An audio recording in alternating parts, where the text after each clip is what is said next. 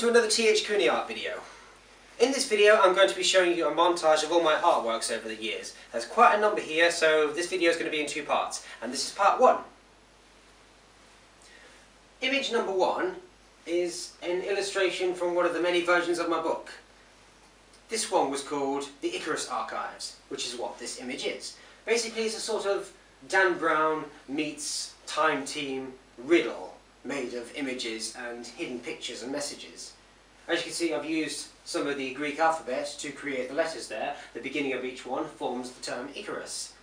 And throughout the book the heroes use this image to answer the riddles and figure out where to go and what to do. Kind of cliche I know, but that was just one of the ideas at the time.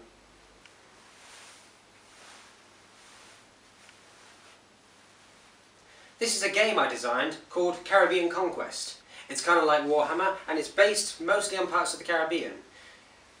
Usually consisting of four players and armies of ships, and the flagship of each army would be the Black Pearl, the Endeavour, the Flying Dutchman, and a ship that I invented for a book that I wrote called the Ocean Phoenix. I'll get to that in a minute. As you can see, it's sort of kind of like a chess game.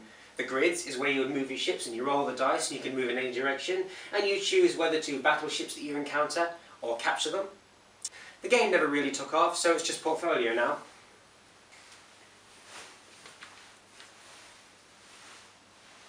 This was the start of a rather sensitive subject about my enjoyment for drawing love and romantic scenes.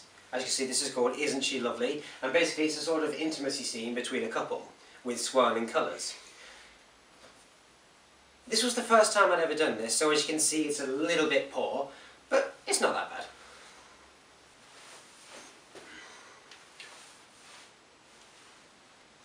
This one is called Angel-Human Hybrids, which is pretty much as it describes. This is a species of humanoid with angel wings. In my opinion, if humans had wings, they wouldn't be feathers. They would be reptilian and skin-like. And as you can see, the male has got horns on his elbows, which indicates that the male would compete for the female. And this guy is victorious. But the idea here is that I wanted to base it in a sort of futuristic style. The species of human and the horns would suggest that this has been a genetic tradition that's been going for millennia. And it's gone far into the future, which would suggest what their clothing means. You may notice the tear there in the corner. I was doing some spring cleaning when I was staying in student digs at uni, and I just picked it up and my heart made a similar noise.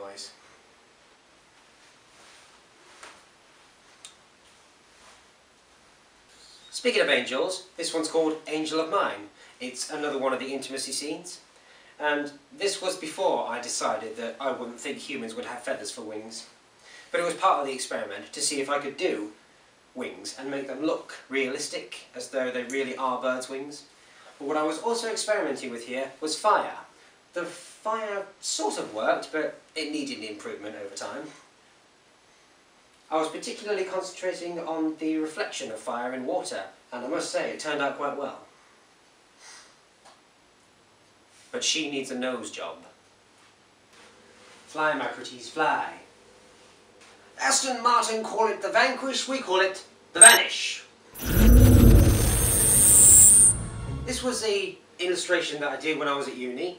My flatmate was an Italian car designer and I learned quite a few techniques from him when it came to blending and smoothing out colours by using lighter fluid. And I thought, I really want to give this a go. So, I drew one of my favourite cars at the time, the Aston Martin Vanquish.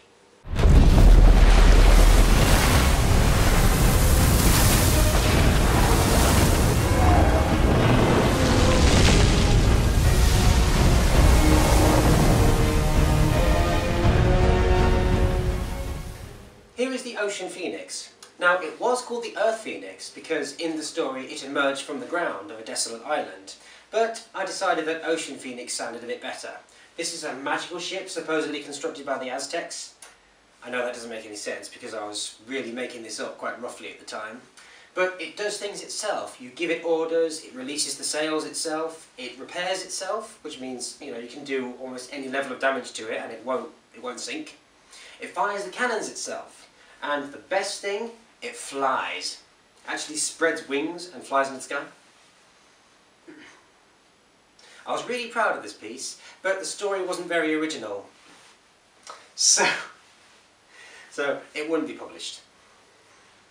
I love the Dan Brown novels. I recommend them all. Make sure you read them. I would particularly recommend Da Vinci Code, Angels and Demons, Lost Symbol and Inferno. Those are my favourites. Lost Symbol is my favourite.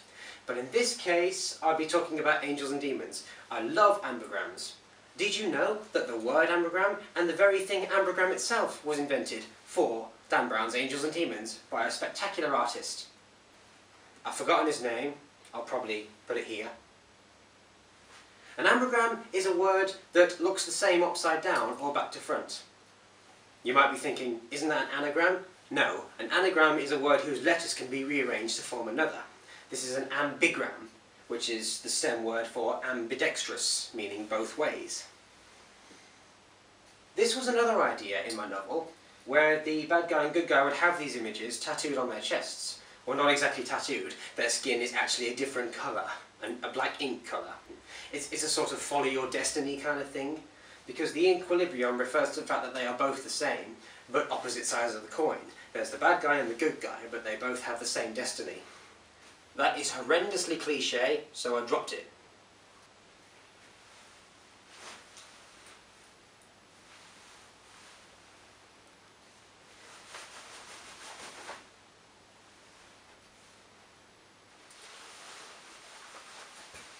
Oh! Sorry. This is an explosion experiment that was meant to be caused by my Hellmouth engine video. Here's the video. Make sure you give it a watch, you'll like it. This is pretty much the damage it does when it fires its beam down from space. This would be a 500 megaton explosion. We're talking so massive that it punches through four of Earth's five atmospheres. I love explosions and I love the physics behind this sort of thing, so that's why I drew it.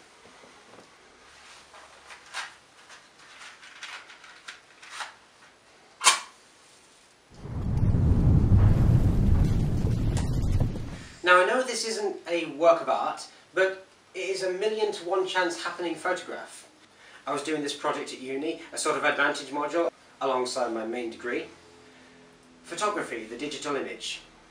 The project was to produce a series of photos based on your life and yours and your preferences and your style. And I took several photos of a bonfire celebration.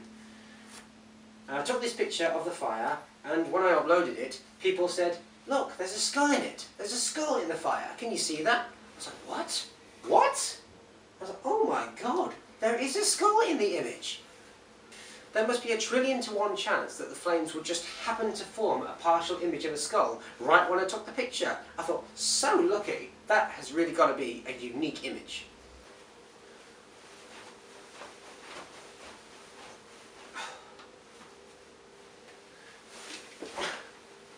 Lost a fair series of motivation on this project because there are thousands of different guns designed for hundreds of different sci-fi stories, games, books, films, whatever, but I did it anyway. This is a series of standard issue weaponry drawn for the super soldiers in my novel. You've got your different kinds of handgun there and assault rifles, particle weapons, miniguns obviously. I was quite proud of this piece, but that's really as far as it went.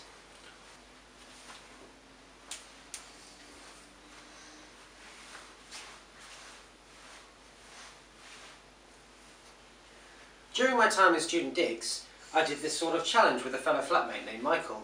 He was a comic book expert and this was one of his characters. Her name is Lady Noire III. The challenge was that he draws one of my characters, which turned out to be the illusionist, in his style, and I draw one of his characters in my style, and this was the result.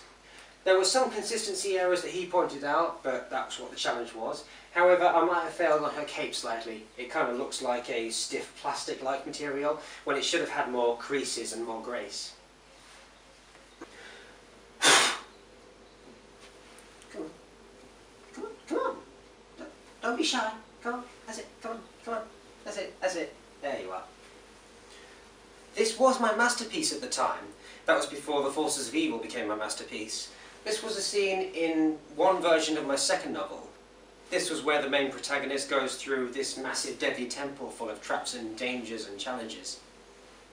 And this was the final challenge, a gigantic monster with tentacles for legs called the Thunder Lord. I quite like things that have got the first part of their name as thunder. Okay, you can go now. Yeah, you can go now, yeah.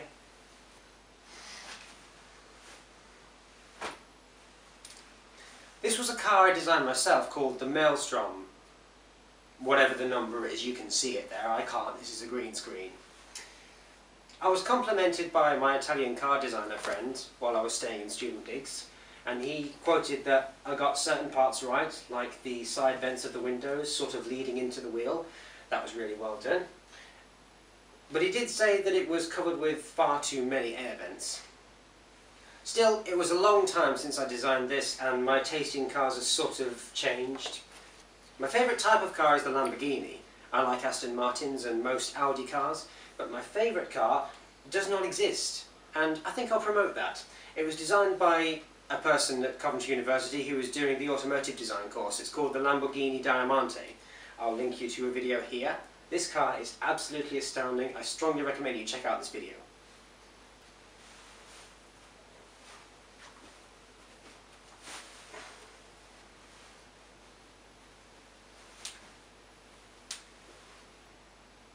Those of you who like Disney will instantly tell that this is Maleficent.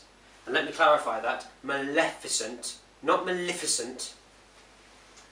Those of you who have seen my Maleficent transformation video, here it is, check it out, will know that I'm very partial to Maleficent. I love this character. It's where my fascination for characters with a lot of pride and majesty came from. My skills with drawing fire sort of improved, but from what you can see down here, the fire looks solid, like some kind of sculpture. It's meant to be more transparent than that, but it was a work in progress. And this is a challenge that my dad asked me to do. He wanted me to draw Maleficent transforming into the dragon only in pencil. I sort of cheated by pausing the film in that section and using that as a guide. But there you are.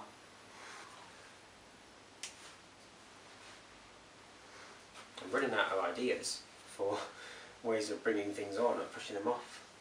Well, you haven't done the baseball bat one yet. Baseball bat. I haven't got a baseball bat though. And this was an idea inspired by Kill Bill 2. I love those films. I'm trying to say that this epic master of martial arts teaches most of the soldiers their skills. But that doesn't make sense because the organisation is millennia old and it consists of tens of billions of soldiers. So how one master can train all those, I don't know. And it's horrifically cliche because it's a carbon copy of Pai Mei from Kill Bill 2.